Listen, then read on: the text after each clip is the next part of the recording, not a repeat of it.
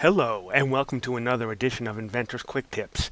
Today we are discussing the topic of means plus function claims.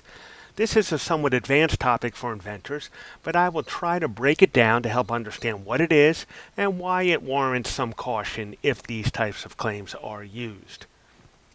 So first, if you are unfamiliar with what patent claims are, I suggest you first watch my video on patent claims basics, which is my most popular video on my channel, and then come back to this video. You'll get more out of this video if you do that and I will put a link to that video in the description. So, now let's get started. What is a means plus function claim? I think it may best be shown with an example. So let's look at one. Here is a sample invention for an automatic paper fastener. As you can see at A on the left side, the vibrating alarm clock causes an object to roll off the table B and hit the Ferris wheel C, causing a bunch of other stuff to happen until the bucket F gets heavy and causes the scissors G to cut that string, causing shoe H to hit the stapler I, which fastens the papers together. And by the way, this is not a real invention. This is one in the style of Rube Goldberg, an American cartoonist from the early 1900s who had a propensity for making these types of silly, overcomplicated contraptions for performing a task, but it will work here for the purposes of education. So let's take a look at a chunk of a sample claim. And again, these aren't real claims. This is not a real invention. We are just using it for educational purposes. So we are showing the ending of our sample claim where we have structural elements.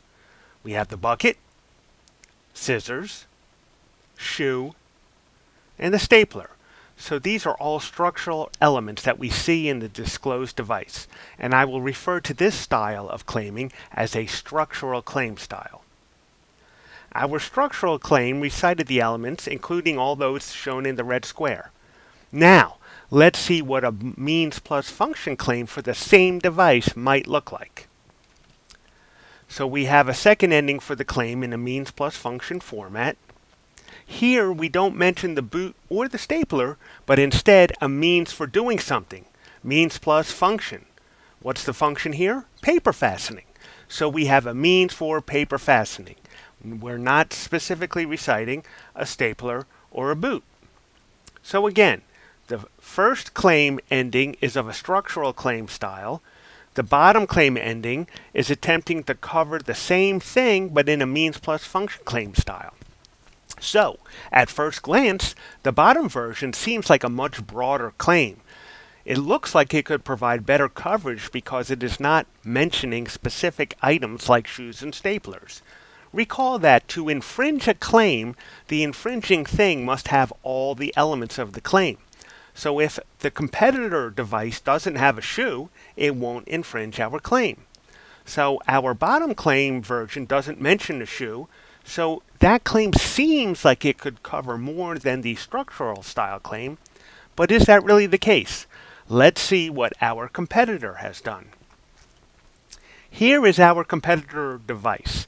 Instead of a shoe and a stapler, the competitor device uses a trained monkey with the string gently holding up his tail. Now, full disclosure, no monkeys were harmed in the making of this video, and we would never want to promote an invention that would be cruel to animals. So just know that this monkey is well compensated and is never harmed or put in any pain or discomfort during use of this device. Now this monkey has a paper clip, and when the scissors cuts the string, the monkey feels his tail droop down, and he is trained to fasten the papers in response to that. So, do any of our claims cover the competitor device?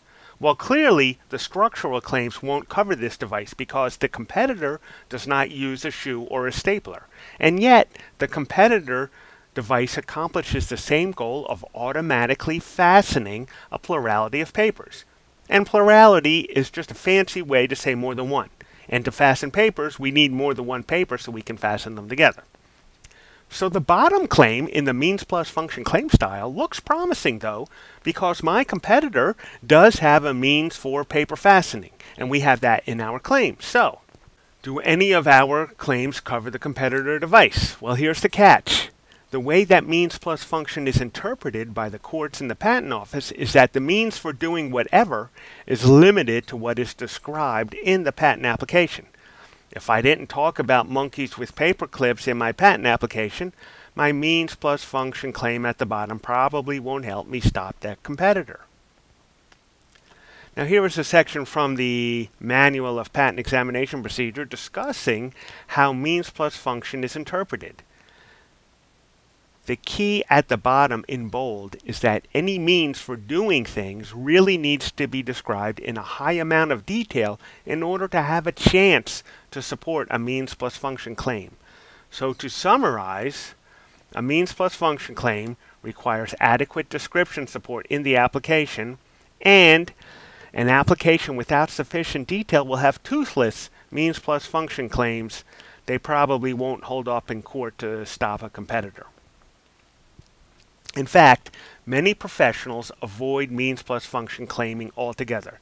Here is a quote from Dennis Crouch, one of the most widely respected bloggers on patent law, who says, Means plus function claiming is fool's gold, especially for anyone with a thin, meaning not too much detail, disclosure. The claims appear broad, but are narrowly interpreted and regularly invalidated. So with that said, let's go back to our means plus function claim that we have, and I'm going to now define this as an explicit means plus function claim because we have the phrase right there in the claim highlighted in red. What about this claim at the bottom? What if I say paper fastening module instead of means for paper fastening? Will this claim still be interpreted using the means plus function protocol? Often the answer is yes. So what we see at the bottom may be an implicit means plus function claim style.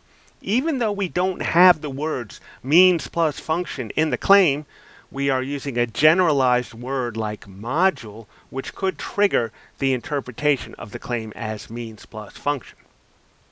So in summary, although the U.S. Patent Office allows means plus function claiming, many professionals avoid it you can use a mix of structural and means plus function claims in an application. That's one approach. And some cases, it depends on what the invention is, this approach may make some sense. Lots of details in the description are needed for means plus function elements. Again, means plus function claiming isn't necessarily wrong, but it needs a specification, which is the written description section, with a lot of detail in these areas to support this type of claiming. Some of the information in this video comes from the Manual of Patent Examination Procedure, often referred to as the MPEP or MPEP. It is basically a guidebook on how to interpret the patent rules, laws, and results of important court decisions. It is relied upon by both patent examiners and patent professionals. It is available to the public at the link shown here, and I will also put this link in the video description. In particular, this section of the MPEP 2182 discusses this topic in further detail. And this is a fairly complex topic with many corner cases, rules, and exceptions, which were not covered here. So if you want to learn more about this topic, you can check out this section. So I hope you found this to be interesting and helpful. If so, please share, like, and subscribe, and thank you for watching.